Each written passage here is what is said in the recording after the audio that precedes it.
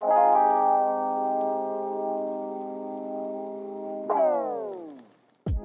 ben nu eh, sinds juli begonnen hier en eh, het is voor mij allemaal heel nieuw. Ik heb voor een bepaalde zone gekozen om eh, ja, die zone zo goed mogelijk te leren kennen.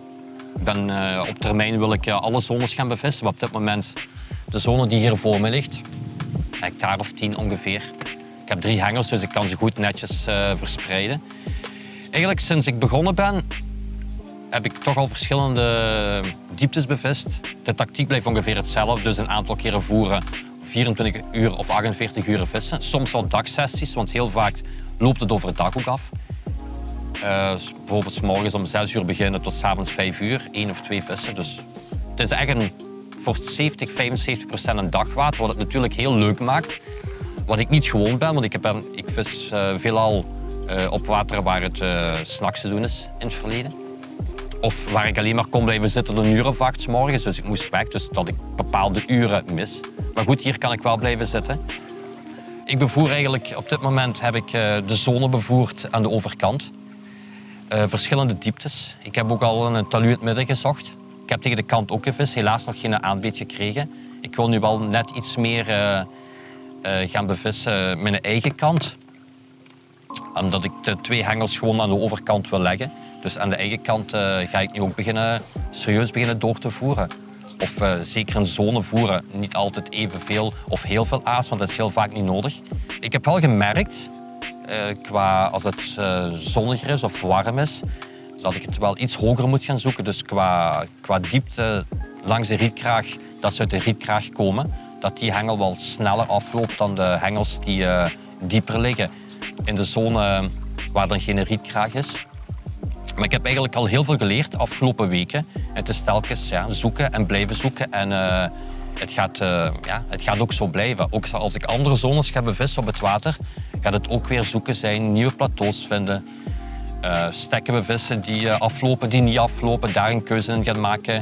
Liggen de hengels in bepaalde zones juist, of op bepaalde delen, dan kan ik misschien met een andere hengel er niet door om verder door te vissen. Dus ik denk wel eh, dat het de water is met een grote uitdaging. Dus we hebben mooie vissen rond.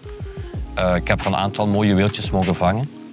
Dat is hopen, maar iedere vis is welkom. En ik eh, geniet er echt superveel van hier. Echt iets anders dan targetvissen. Dat kan ik u verzekeren.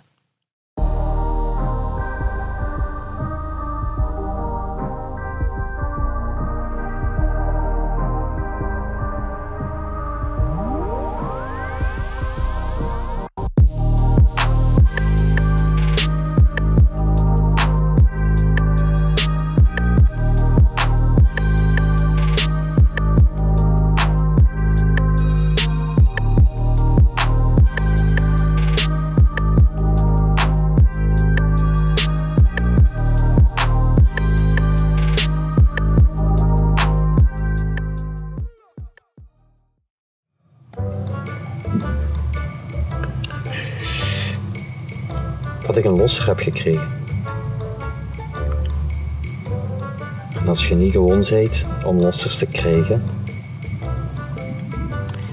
dan doet het eigenlijk behoorlijk hard pijn. En zeker als dit al de tweede is van de sessie en de enigste twee aanbeten die ik gelost heb sinds ik hier vis en zelden of nooit een losser heb met mijn systeem ben ik eigenlijk nu echt wel pissed off. Gisteren kon ik er niks aan doen, toen zat ik op de boot. En dan, eh, dat is erbij. Dat wist ik op voorhand dat dat vroeg of laat ging gebeuren. Maar nu krijgen we opnieuw een nette run. En eh, ja. Schiet hij los. Heel raar, heel frappant. Het is twintig keer goed gegaan hier. Qua aanbeten. En eh, eentje verspillend riet, maar dat had met andere oorzaak te maken. Daar kan ik mee leven, dat kan gebeuren.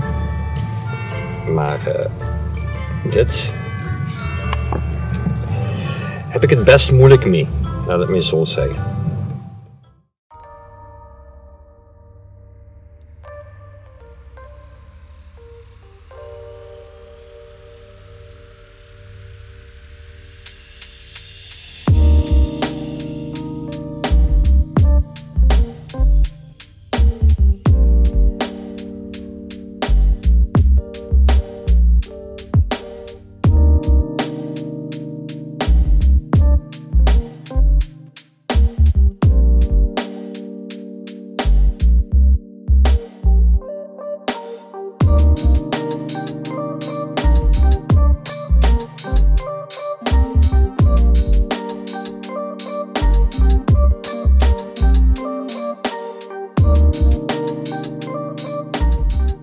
Lichtpunt. Na een maand van keihard uh, voeren, vissen, afromen, is dit echt de beloning. Juist een maand erna. En uh, je kunt niet geloven hoe blij ik ben. Dat was een doel. Een doel. Geen targetvissen meer, gewoon een doel van ene grote vis te kunnen proberen te vangen. Er zwemmen er niet zo heel veel op, op die 90 hectare hier. En uh, dit is de beauty. En hopelijk komt er nog eentje langs uit top.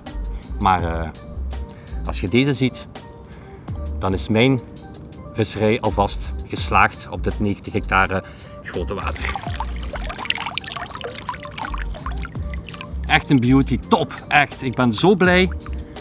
Dat, uh, dat is voor mij een van de hoogtepunten dit jaar. Ik heb nogal een aantal hoogtepunten gehad.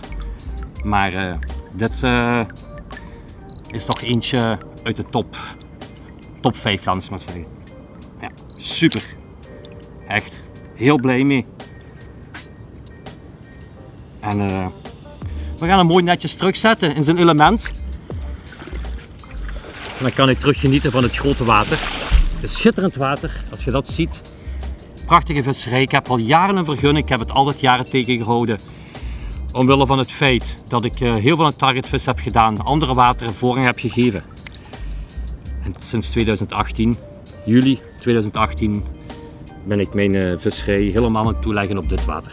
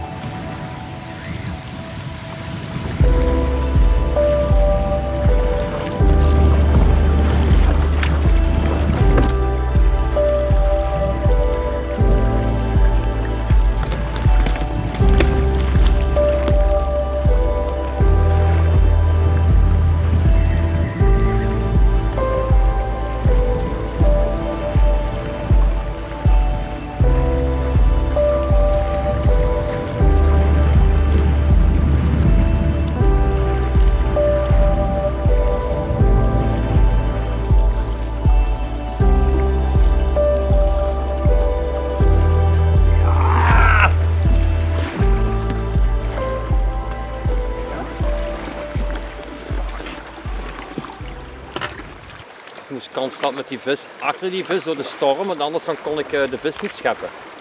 Dus vandaar dat ik constant moest uh, accelereren met mijn boot. Maar echt een brute schip man. Wauw. Top. Vet. Marco, echt vet, echt waar. Wauw. Wat een chique vis man. Super.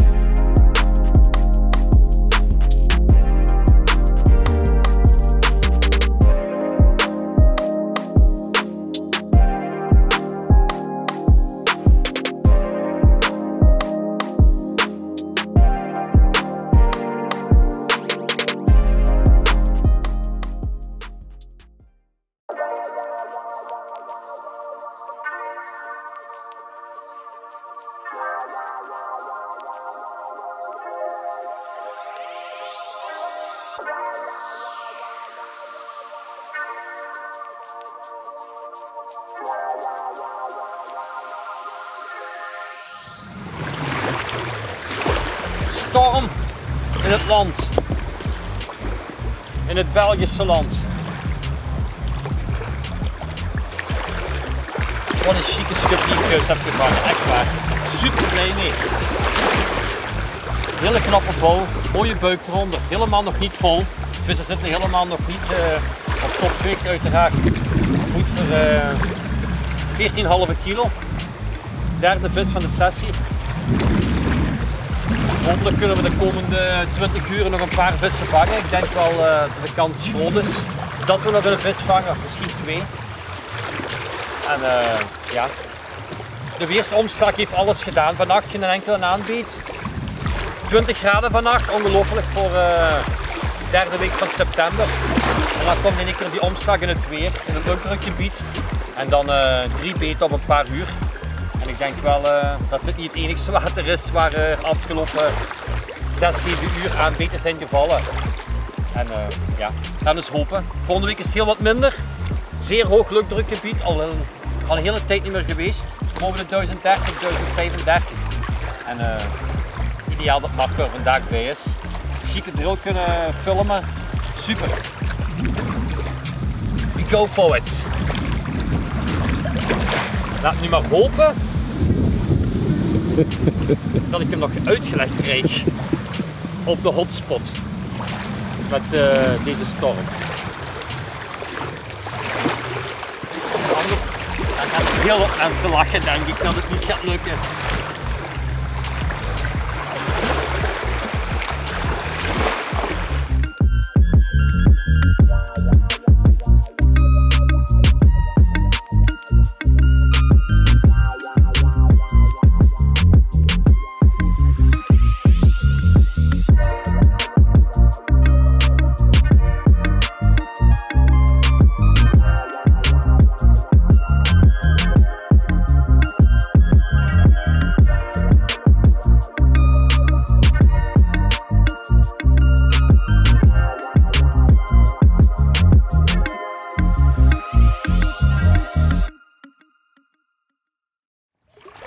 Vorige week uh, heb ik twee korte sessies gevist, na drie keer voeren.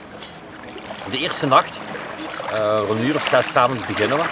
En om uh, 9 uur s'avonds, net iets na donker, krijg ik een rustige aanbeet. Kwartier op de boot gedrild en ja, gewoon een drill, fijn, nice. Ik schep die vis en één keer, wow, ik zie daar een lange het water in het net liggen. Ja, dat kon maar één zijn. Opnieuw een 40er, Antigoon. Echt een geweldige vis. Echt super knappe vis. Donker van kleur, sterk. Alles wat moet hebben van de schub eigenlijk. Schitterend. Die nacht heb ik uh, nog vier aanbeten gehad. Of ja, drie aanbeten in de nacht en één uh, overdag. Ze kwamen eigenlijk bijna allemaal van dezelfde hengel, wat ik eigenlijk niet zo heel gewoon ben. Of zeker niet van de, sinds ik begonnen ben eigenlijk. Toen liepen meerdere stekken af. Nu was het eigenlijk maar ene stek niks, ene andere hengel 4 en dan uh, de derde hengel 1. Heel frappant. Uh, dan heb ik uh, die dag gevoerd. Toen ik naar huis ging, s'avonds van een uur of 5, ben ik zondags teruggekomen voor een sessie van een uur of 16. En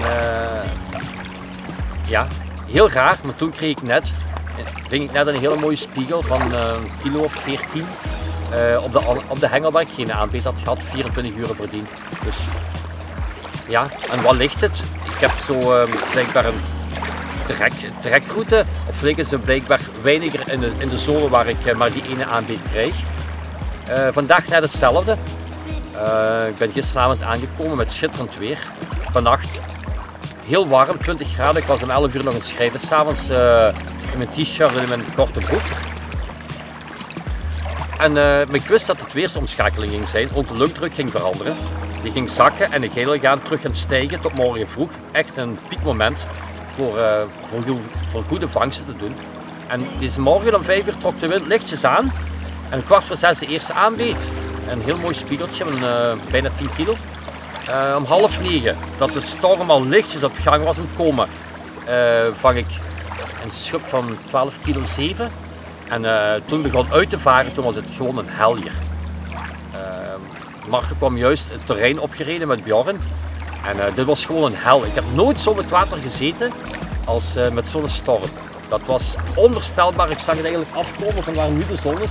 En achter die heuvel kwam het gewoon af. En op 1, 2, 3 dan zeg je soms van hoe kan het gebeuren, gelijk op die grote water in Frankrijk, gelijk wat Dien Dudair. Uh, in één keer mensen worden ja, ingesloten door een storm binnen de mum van tijd. Eigenlijk uh, is het gewoon bij u. En je ziet het hier, het is een heel grote open vlakte. En ik was eigenlijk heel blij dat ik aan de kant was. Ik, was, had me wel mijn regenpak aan. Ik was druipnat, zeiknat gewoon. Goed, Mark was hier. Een beetje gechat, wat gelachen, wat gepraat, uh, wat over tactiek gepraat. En de foto's beginnen te maken. En uh, bij de spiegel loopt er in één keer met een hengel, maar de hengel kwam bij af. Ook heel veel wind. Uh, ik had heel moeilijk om achter de vis te blijven, zeker om te gaan scheppen.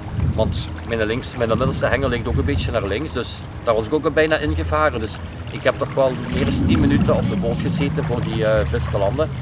En dat was tot nu toe de grootste van de sessie. 29 pond, super mooie vis, super sterk, al een mooi buiksken onder. En uh, we hebben nog geen nacht. Dan is hopen, ik heb de hengels alle drie terug netjes uitgevaren. Je ziet, de wind is minder, er is nog wat wind, maar uh, ja, het is toch al verminderd. En daar ben ik eigenlijk wel blij om, want als je zo straks de boot moet opgaan met uh, storm, dat is toch niet, uh, toch niet alles. Dus dat is hopen. We hebben nog een uur of 14 en dan zijn we weg. Morgen voer ik opnieuw en kunnen de vissen terug op het voer komen. Ik moet zeggen, die skop het squid.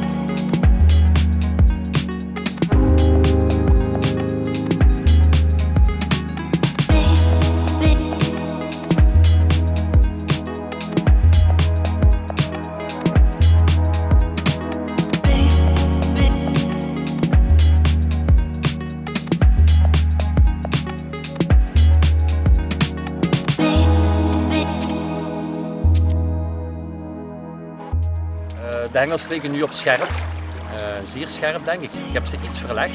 Zeker uh, die hengel die uh, niks heeft opgeleverd, die heb ik een meter dieper gelegd.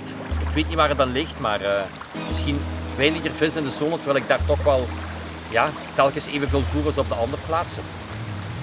liggen op scherp, we gaan de nacht in, we gaan lekker een hapje eten. En ja, ik hoop dat we elkaar morgen vroeg opnieuw zien.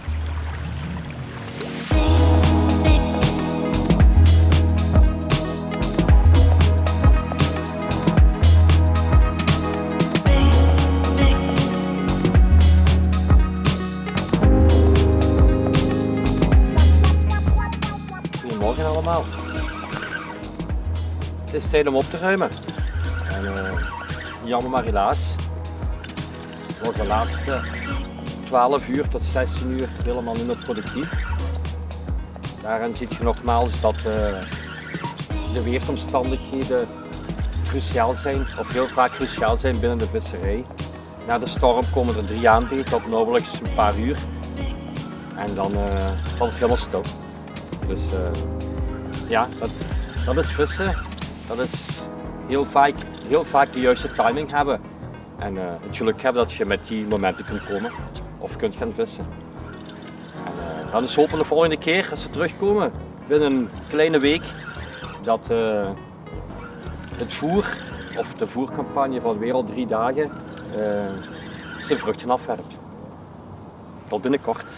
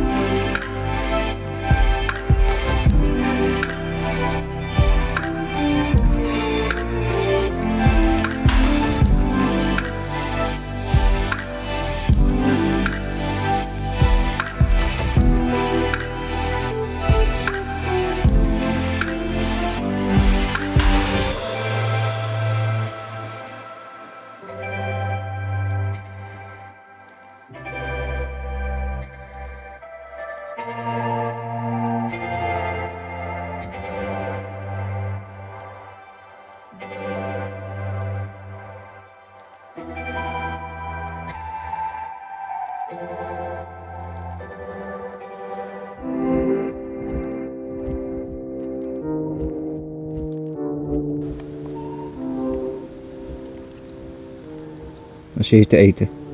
Ik ben bessen aan het eten. Ja. Ongelooflijk. Het is half oktober en ik zit hier nog braambessen achter mij te eten. Het is echt een Indian summer hoor. Maar wat een geweld vannacht. Echt een brute, brute vis. Echt een juweel. Ik heb echt geluk in de Maasvallei dat ik echt heel mooi vissen mag vangen. Van de schubbing tot bouw. Deze is echt eentje, ja, supervis weer. Echt een knappe vis. Ik heb echt het geluk. En eh, iedere week loopt hij. Iedere week gaat hij meerdere keren af. Het is ondertussen drie weken geleden dat we samen zijn gaan filmen. En eh, in de tussentijd heb ik eh, tien uh, aanbeten weten te verzilveren. Dus uh, mij hoort je absoluut niet klagen. Echt een uh, super visserij hier. De eerste keer dat ik er vis. Na zoveel jaren in kaart te hebben en ik ben in mijn derde maand bezig. En ik hou zoveel van die visserij hier. Dat is echt, echt fijn. En ik ga zeker nog bepaalde periodes terugkomen in de toekomst. Echt beauty.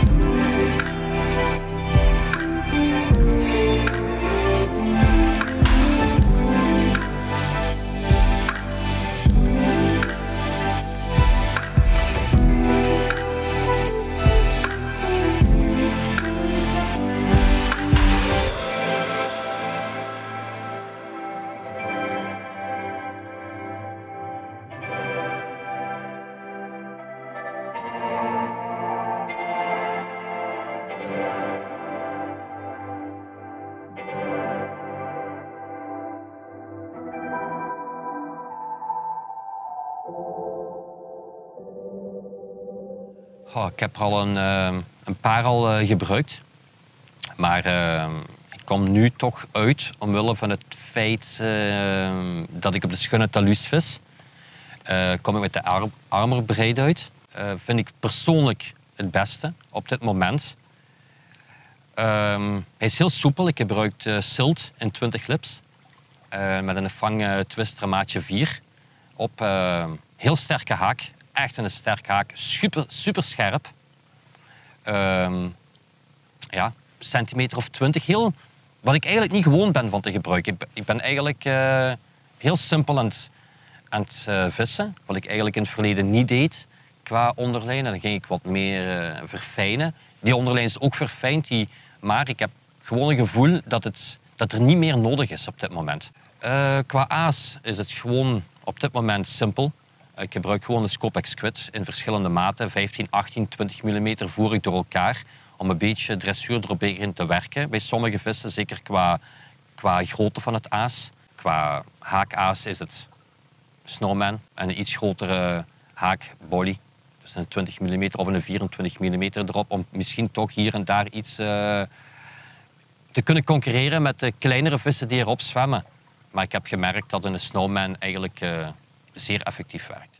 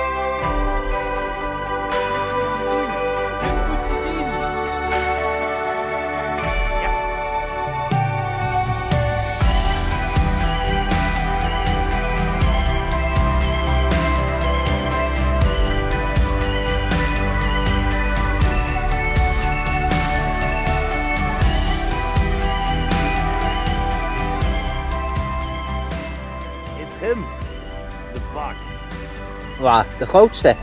Net niet. Een van de topvissen. Ja? De beet verraden dan alles, hè Marco? Die twee tuten. En meer niet.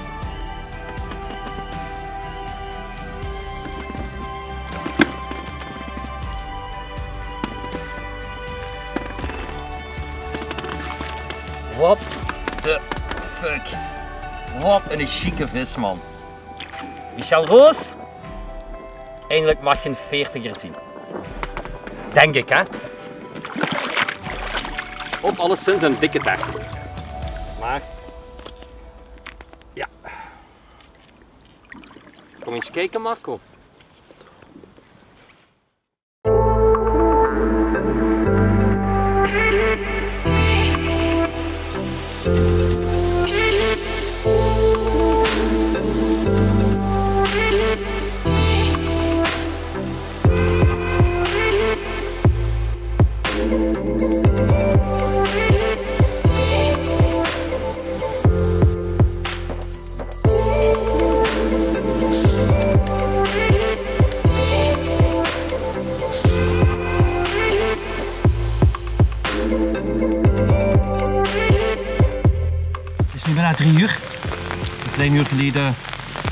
Deze bak gevangen. Een van de topvissen van het water. Echt een chique, chique vis. 1 november. En eh ja, de maand is al goed begonnen. Ik ben zo blij met die vis. Kun je niet geloven. Echt, ze zitten echt eh, vol. Ze beginnen echt vol te zitten. En eh ja, de laatste drie dagen was het polaire lucht. Vandaag is de eerste dag dat het eh, weer een klein beetje omslaat. En net als de wind opkomt vandaag, eh, het zuidwesten, ehm, en regen erbij, heb ik net de beet aanbied gekregen. Heel het traag oplopende beet, twee piepen, een paar seconden wachten en toen ging hij. Toen stond ik al bij de lijn, boot op en eh, ja, na een paar minuten zag ik een, een gele vlek, twee meter onder het water. Ik zeg gewoon, ja, echt een bak. Dikke, Kijk eens, echt niet normaal. Echt in zijn herfst-winterkleuren. En eh chic. het is tijd om te vertrekken. Het is om, op dit moment aan het schieten dat het, dat het niet meer kan. We moeten stekken terug gaan aanvoeren. En daarvoor hebben we afgesproken met Marco en met mijn dochter, Michel Roos, dat, eh, dat we naar huis gaan. Dit is ook de laatste keer dat Marco komt. Ik denk eh, dat we meer dan genoeg beelden hebben van schitterende vissen. En eh, ik blijf ongestoord doorgaan. En Marco zal alleen nog terugkeren op het moment dat een van de andere betere vissen eruit komt. En hij is zelfs bereid om naar Frankrijk terug te komen. Dan is hopen, maar ik ben zo blij. Ik heb zo chique vis hier gevangen. En dit is er een van. Eerste vis van maand november. En meteen een 40er. Dikke 40er. Here she goes.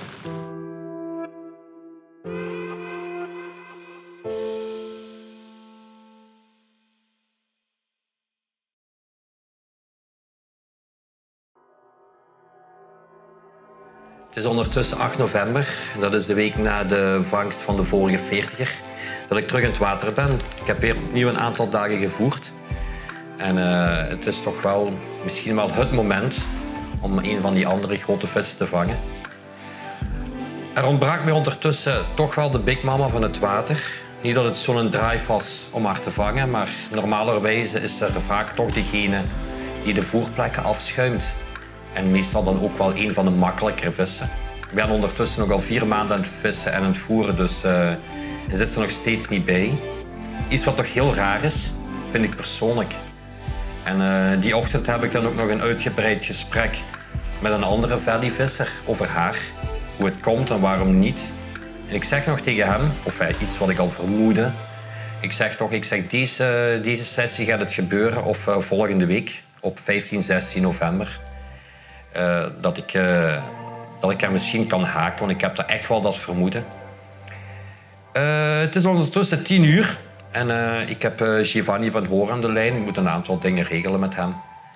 En ehm, ik krijg in één keer een hele traag oplopende run. Ik heb mijn oortjes in mijn oren, dus ik vraag aan hem van heb je interesse om mee te gaan de boot op? Dus ik steek, hij vond dat geweldig natuurlijk. Ik steek mijn telefoon in mijn zak en ik ga de boot op. Ik begin te drillen en we zijn wat aan het praten bij elkaar. Ondertussen, het is heel, heel raar, want normaal gezien zou je nooit praten met mensen. Terwijl je aan het eh, drillen bent op de boot. Zeker niet als je alleen zit op de boot. En eh, de zon staat al boven mij en het is windstil. Het is ja, geweldig weer eigenlijk. En op een bepaald moment, na 7, 8 minuutjes, komt er een schuimplakkaat boven. Heb ik eigenlijk nooit gezien met een vis. Van 1 vierkante meter. Iets wat heel, heel frappant is. Meestal zie je wat belletjes boven komen met de grotere vissen. Maar dit was eigenlijk een bruisplakkaat van het kon niet meer. En uh, ja, prompt daarna, een half minuut later, komt er een geweldige megabak aan het oppervlak te liggen. En de eerste keer dat ik het schepnet in het water duw, kan ik hem over het netkoord trekken. Ja, het is ongelooflijk. Allee, ik zei nog tegen Giovanni aan de telefoon, ik, zeg, ik heb echt een megabak, maar uh, ik ben niet 100% zeker dat het, uh, dat het de zwarte zijdestreep is. Omwille van het feit dat ik de zwarte streep zie en de kop zie ik het wel, dat uh, zij het is. Maar de, streep op de flank zie ik niet. En ja, ik leg, een minuut later leg ik af bij Gio, helemaal ontdaan. Ik leg me op de mat. We tillen hem op en ja, hij trekt zowaar voorbij de 31 kilo. 31,6 kilo om exact te zijn. En uh, ik, was, uh, ja, ik was helemaal in een roes. Een ongelooflijke, schitterende vis. En zeker toen na twee uur in de zak te gezeten te hebben, want ik heb een aantal mensen moeten bellen. En ja, toen hem uit de zak kwam, zag je perfect die zwarte streep. En, een van mijn mooiste, maar ook mijn allermooiste grote vissen die ik ooit heb gevangen. En dat is ook wel heel duidelijk zichtbaar aan de vis zelf. Een geweldig euforisch moment. Het is ook de allerlaatste vis die ik vang op uh, de Maasvallei, want de week daarna is het vruchteloos. En uh, ja, mooier kun je een sessie of een sessie en een, een heel periode niet afsluiten met, ja, met eigenlijk die grootste vis van het water.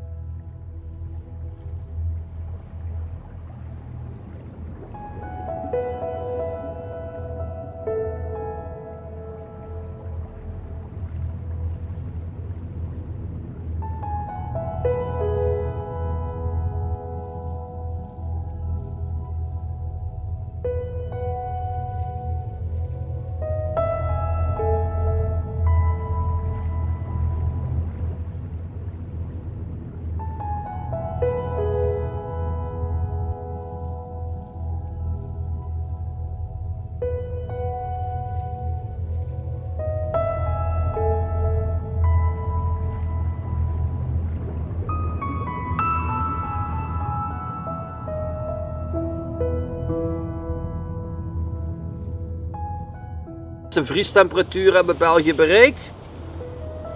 De, zoals verwacht een blank. Maar we hebben heel veel hoop. Want eh, de komende uren tussen 10 en 3 zijn hier de meest productieve. En ik hoop dan dat we nog één beet zullen krijgen, want het water gaat heel snel afgaan, de temperatuur. Omdat uh, vanaf morgen komt er het koude front binnen en dat gaat een heel tijdje aanhouden.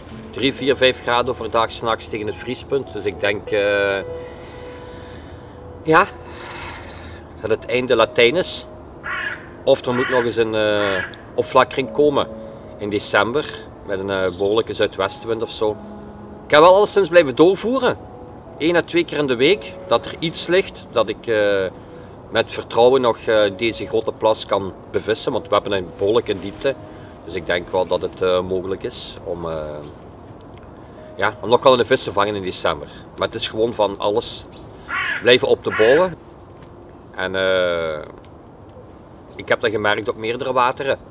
Dat het uh, blijven doorvoeren meer kans maakt om uh, blijven vissen te vangen tot, tot het dicht ligt. Voilà.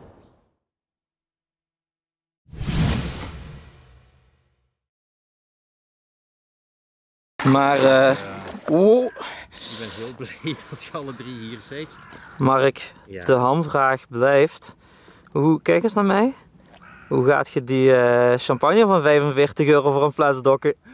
Eh, ik ga je die meteen betalen, die champagne. Echt niet. Het is eigenlijk anderhalve euro per kilo. Echt hè? Ongeveer, hè? Ja, Dus eh, maar daar heb ik er echt voor over. snap ik. Zalige vis jongen, proficiat. Super, super vis.